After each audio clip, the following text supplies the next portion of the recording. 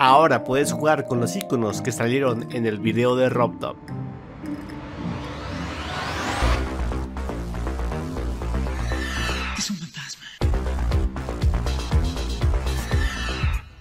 En el video del décimo aniversario de Geometry Dash, en los créditos pudimos ver una recopilación de niveles bastante conocidos en Geometry Dash.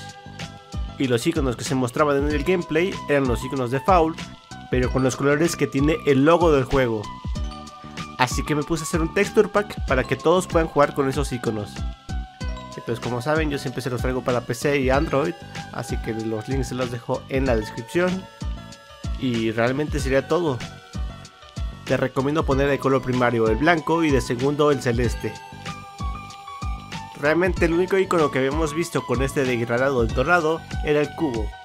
Pero ahora ya podemos ver cómo se vería el icon set completo de estos iconos. Y pues eso sería todo por hoy. Recuerda suscribirte, darle like así. Adiós. Bye.